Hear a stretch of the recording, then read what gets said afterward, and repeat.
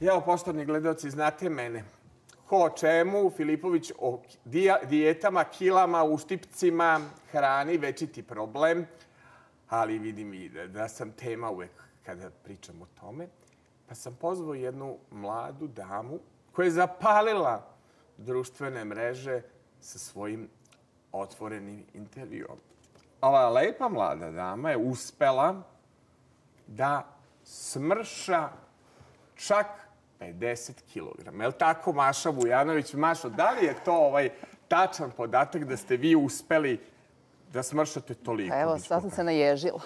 Prosto ni ja ne mogu da verujem. To je takva cifra da ali uspela sam. Da. Ja sam uspeo 20, pa je bilo dovoljno da potisnem izvesne starlete iz najčitanijih e, nedeljnika i dnevnih novina u Srbiji, zato što sam svršao 20, pa mi je to jako teško palo, ali ovih 50, kako A ste uspali? Teško je palo zato što je verovatno bio neki način koji je težak. I zato je možda teško palo. Ovo je tako lak bio način da je meni to ovako... Zato sam ja izdržala i za 11 meseci skinula 50 kg. Znači, to je cifra koja je... On, to je jedan čovek mislim, od 50 kg. Ali znate šta mi dolazimo i zato smo se našli u pripremama za ovaj razgovor, mi dolazimo do toga da zapravo zašto mi jedemo? E, e, zašto se gojimo? Jel vi imate teoriju? Pa, to neka ovaj, emocionalna... Ja sam 30 godina u potrazi bila za odgovor na to. Zašto ja ovaj, dobijam uopšte na kilogramima, a neko drugi ne dobija? Znači, zašto ja ne mogu, zašto imam toliki apetit? Zašto nikad nisam sita? i tako dalje. Zašto uh, pokušavam da skidam kilograme i uspem u tome i oni mi se uvek vrate s kamatom. I to tako 30 godina već traje. Znači, to je jedan začarani krug.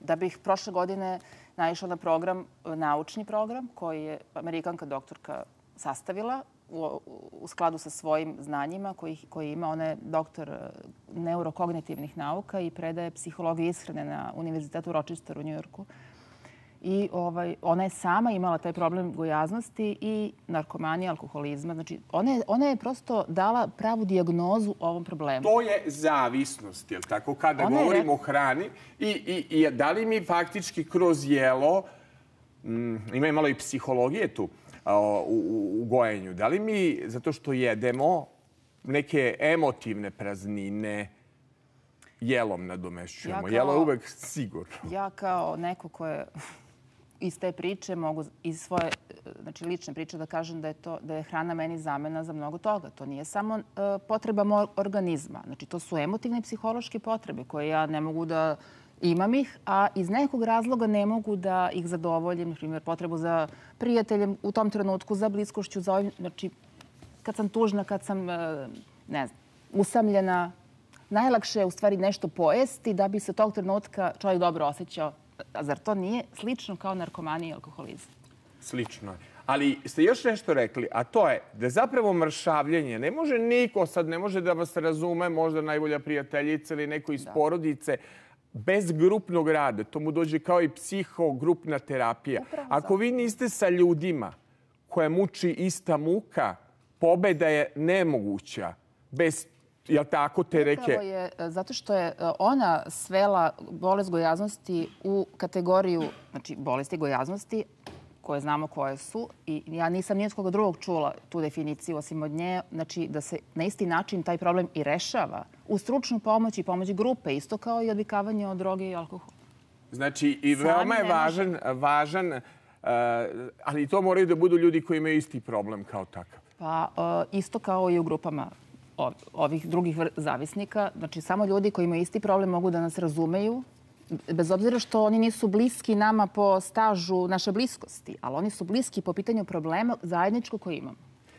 Uh, još jedna stvar ili vrlina ili mana ovog programa, mislim možda da je mana, ali vi ćete to objasniti. Zapravo, da bi neko uopšte bio informisan za to, to niti se reklamira, niti ima ovaj agresiju koje imaju pojedine stvari koje mi se čine čak i na sektaški način da rade, daju čarobne štapiće za mršavljenje.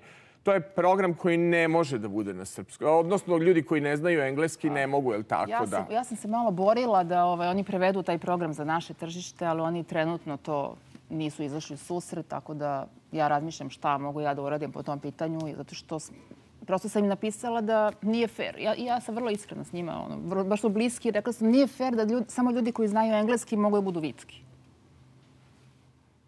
Tako, znam, ali ovaj, ja moram da kažem kako sam vas našao. Vaš brat, sa kojim ja dopisujem se putem Facebooka, Leon, mi je pokazao jedan link i pokazao na vašu stranicu i na vašu Facebook stranicu i kaže to je moja sestra i tako puno lepih stvari. Da on ima svoju hedonističku drugu stranu filozofije, jel tako? Reći ćemo ono od Mao Tse-tunga, neka cveta hiljadu cvetova. Ko kako voli, nek uživa u životu, ali pozdravi za, pozdravi za njega i da se zahvalim. I moram još jedan podatak da kažem koji je meni ovaj, jako značajan. Ja mislim da sam ja vas video kao malu. Ozbiljno? Jeste, jer vaša mama Milja Vujanović je bila gošća kod mene u emisiji. Povodom, tema je bila ko su naše pametne misice. Ko su žene koje su ostavile traga u srpskoj istoriji, u istoriji toga i, i vaša mama je bila u toj... E, pokušat ću da pronađem fotografiju i, i da se setim. Vama, va, vaša mama je tako Milja Vujanović? Jeste. I, i, I koliko je u toj, go, svi znamo i, i, i ta tragedija koja se desila i sve što se desilo, koliko je zapravo, pa da ste vi posle nastavili hrabar put da budete mama čak tri puta, zato što ste svoju mamu doživljavali kao jaku mamu. Ovaj, recite mi, e, u, u toj golejaznosti je li bilo i sećanje na tu tragediju i ono sve što se desilo? To, to prosto sa tim čovjek živi i e, bitno je da od, od toga napravi najbolje što može. Znači, to ne može se promeni, ali to ne znači da sad treba na, ići putem neke autodestrukcije. Uh mhm. -huh. Znači, čovjek... I, ovo što sam ja u stvari s ovim programom isto shvatila je koliko, koliko, koliko, koliko nisam baš brinula o sebi. Ove. A mi, mi inače na ovom prostoru nismo naučeni da brinemo o sebi i da volimo sebe. To nas niko nije učio osim ove, života, jel? A to je malo kasno. A pogotovo što nekoj vašoj generaciji, pored je život nametnuo i teške zadatke i zaraditi. I na, vi, vi ste jako svestrana osoba. Vi, e, čime ste se vi sve bavili? Jako mi, ja sam bio na vašem sajtu. A, ovaj, e, čime ste se sve bavili? Jako ste ovako kreativni, znači... A pritom nisam ja to nešto odlučila da budem, nego prosto to ja imam potrebu, ja sam u stvari vrlo otvorena. To je, mislim. I onda kada je čovek otvoren, svašta tu dolazi. Razne tu stvari, informacije i razna neka saznanja, pa ne bih ni upoznala ovaj program. Ja jedina na Balkanu da upoznam ovaj program američki, ni to nije baš slučajno. Zato što sam vjerojatno ja istraživala i, i, i zainteresovana za... Prosto nemam te neke blokade, tipa ovo su Amerikanci, ne, to je crno, ovo je belo. Mm -hmm. Tako sam isto srela i suđok južnokorejsku metodu lečenja, koja je priznata kod nas od strane Ministarstva zdravlja, koja je isto meni, ono, kako da kažem, rame uz rame po uspešnosti s ovim programom. Ali, znate, ona, i to je budista, recimo, pronašao ta, tu metodu. Tako da, ja mislim da... I koleginica se čak našoj milici i, i šminkerka ste profesionalna, Jesam. je li tako? To sam želela da imam diplomu, pa sam završila i kurs, ali od Malena imam taj dar. Eto, pa sam prosto sve, sve što mi je Bog dao, želela sam da umnožim, pošto je to naša dužnost, tako, s takvim stvarima da postupam. Kako bi ti mama troje dece? U ovo savremeno vreme. Kakva su, kakva su ova moderna deca? Predivno je biti majka. Ja mislim, ja bi bila jako nesrećna da nisam majka. Mislim, znam kako mi je bilo pre nego što sam postala majka. Prosto, meni je potrebno da, da se ulažem u nešto što, što se umnožava. Znate? Znači, to je ipak neki drugi život. E, I mislim da je čovjek dosadan sam sebi kad nema decu. Ne znam, ja bi bila dosadna sami sebi. Je li tako? Da. A koliko ova nova deca daju dinamike? Jer moramo da im se prilagođavamo. Su to deca Oni novog su... milenijuma, znači tehnološki, da li su brža od nas? Ja njih tako ne doživljavam. Ja njih doživljavam kao da su oni e, nedavno došli iz onog čistog mesta. I oni meni daju, oni, mene, oni mi pomažu da ostanem normalno u ovo današnje vreme. Kažite mi, a, kada govorimo o čarobnoj šifri, za nekog ko jede. Ja uvek kažem bolje da se i živim na slaninici i stišnjenoj šunkarici nego na saradnicima sa kojima radim pa potisnem. Je li to loš model psihološki potiskivanja pa onda ne, neku ljutnju i nešto na čvarcima primjenjivati. Šta bi meni savjetovali? Kad me vidite ovakvog da variram, ima me i 20 kila manje, pa me ima opet 10 više, pa ću opet idem manje. Koji bi vi meni savjet dali da smo vi i ja u grupi? Pa znate šta, ja sam inače lično želela da idem na psihoterapiju, pa sam to i uradila. Pet godina sam išla na individualnu psihoterapiju, prosto da se skockam u glavi, da vidim šta je to do mene, a šta nije do mene, jer to je vrlo važno znati granice, gde, ste vi, gde su drugi. I prosto da imam neke mehanizme da ne može čovjek baš da, da sve iskaljuje što osjeća, mislim, i to baš nije ovako humano je na drugim ljudima, ali opet ni, ni na sebe. Znači, nekako da se od toga što, uh, od, što kažem, kad me neko pita čime se bavim, proizvodnjom limunade. Kako život me gađa limunom, ja pravim limunadu od toga. To, ta, to je moj život. Znači, ja, čime god me život gađa, ja svoju energiju trošim da vidim šta ja mogu od toga, kako da izađem iz toga. Znači, samo sam na rešenje usmerena. Ne na kukanje, na očajanje, na... Ja, ja ne mogu, to meni je to mnogo opterećujuće. I vernik ste, našli ste svoj mir kroz veru, našli ste... Pa našla sam objašnjenje kroz veru. Je li tako? Mira... Ne.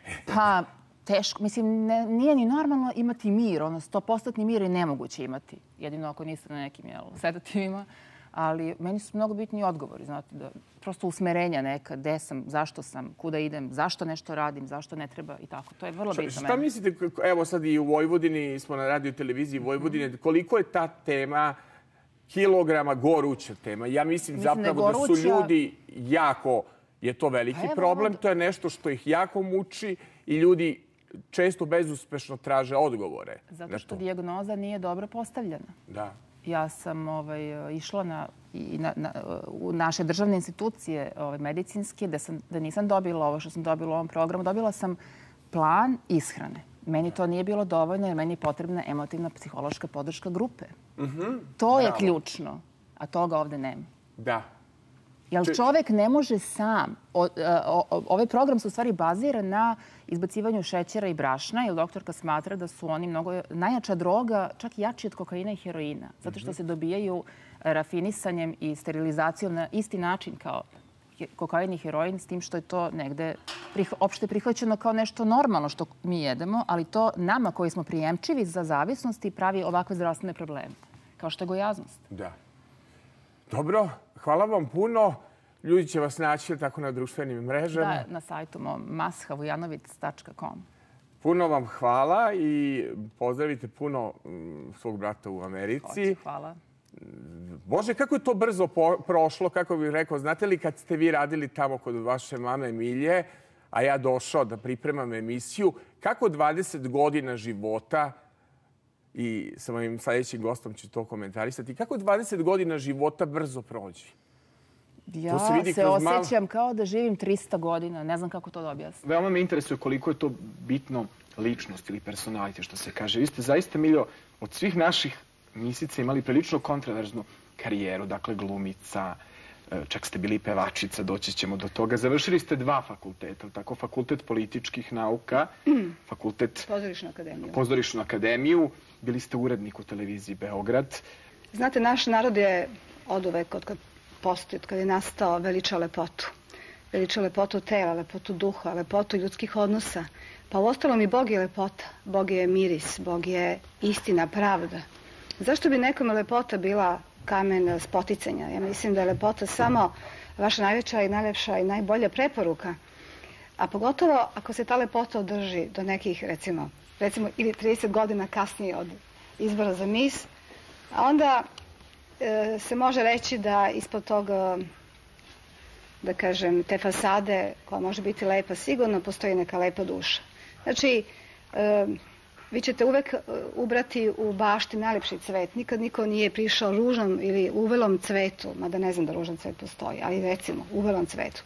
Tako isto i mi, znate, mislim da je najstrašnije roditi se ne mnogo lep, jer lepota je opet stvar koju možemo diskutovati. Ali svako od nas može da postane lep. Svako od nas, uh, ulažući u svoju dušu, mora da polepša i svoje telo. Ja znam ovaj, da ono mnogo možda za razliku od vašeg brata ne verujete u astrologiju, ali ja mislim da je meni razgovor išao sa vama dobro zato što ste vi vaga. Verujem u astrologiju da postoji, u to verujem. Da A ja verujem da je nama išla ova dobra komunikacija za vaš televizijski debi zato što ste vi vaga. Bila nekad. A, a ovaj, vaga i blizanac dobro komunik komuniciraju. Nekad sam bila vaga kad sam bila u horoskopu. Da. A, dobro. Što kaže Moma Kapor, ja sam rođena u znaku pitanja. Odlično. Naša gošća, Maša Vujanović, koja je rođena u znaku pitanja. Hvala puno. A mnogo će ostati znak pitanja posle ovog razgovora.